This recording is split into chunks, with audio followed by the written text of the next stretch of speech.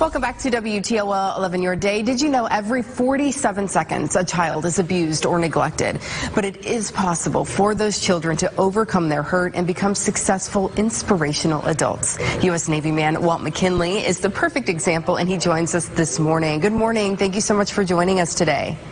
Good morning, Amanda. Thank you for having me on. I'm excited about this. Absolutely. It's such an important topic, and we want to raise awareness and get the word out, but also, you know, inspire folks and bring hope uh, to kids and adults as well who maybe have had a similar history. First of all, tell us a little bit about your story.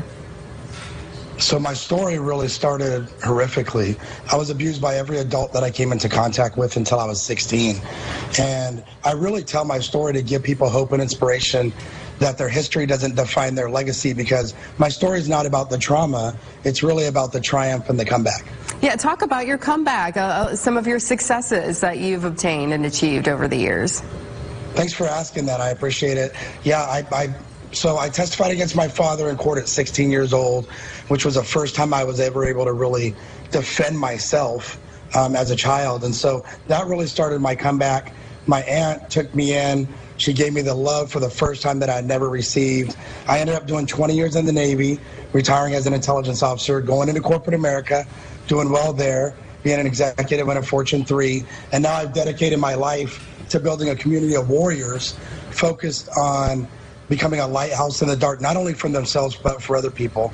And then uh, on a personal note, been married 22 years, been with my wife 25 and two, have two beautiful teenage daughters. So I'm a lucky and blessed man, that's for sure. Wow, yeah, you have, you found a way uh, to not let your past, you know, turn your future, you know, negative, and you've found a way to turn things around. So you have some advice. You have a book, first of all. Tell us a little bit about your book, and then some of the advice that you have for folks. Yeah, so I wrote my memoir, Monsters in My House, A True Story, um, and the picture on the front is, is my view as a child being thrown and locked in a basement. And I really wrote that to tell people you can literally go from being locked in a basement to living a life full of abundance. And the last chapter I put my four keys to living an extraordinary life.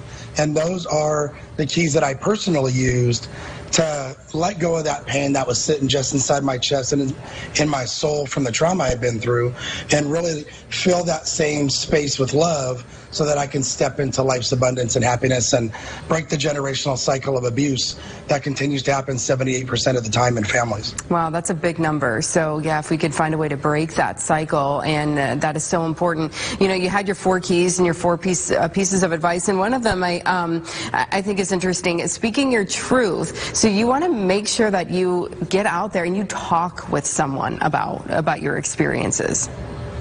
Yeah, the reason I did was to give those people who feel like they've never had a voice a voice for the first time. And if we don't have these tough conversations, if we're not realistic about the things that are happening, we'll continue to perpetuate the cycles. And so, speaking your truth for me out loud for the first time was like I was drowning my whole entire life and I came up for this breath of fresh air for the first time.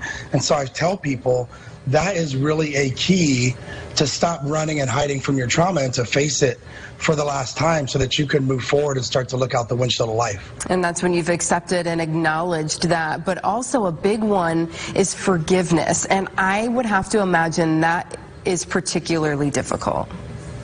Amanda, that's a great point, and it really was for me. That was the hardest piece for me. Um, but when I realized hurt people hurt other people, and those people who abused me, all of them, who abused me had been abused as children. And because they never resolved the emotion and the trauma they went through, they transferred that generationally to me. I knew that I had to stand up and take a stand and do something different.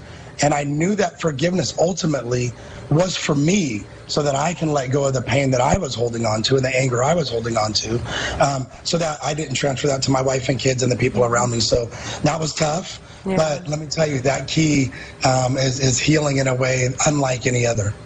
You know, uh, it's such an inspirational story, and I uh, thank you so much for joining us this morning to share that and provide that hope. For people who would like to get your book, where can they get it? They can get it on Amazon, they can get it on Barnes & Nobles, um, or they can go to my website and get a copy there. Very good. Well, thank you so much for joining us this morning, and we wish you continued success here in the future. Thank you. Yep, take care. Well, we have much more to, to come on WTOL 11 Your Day.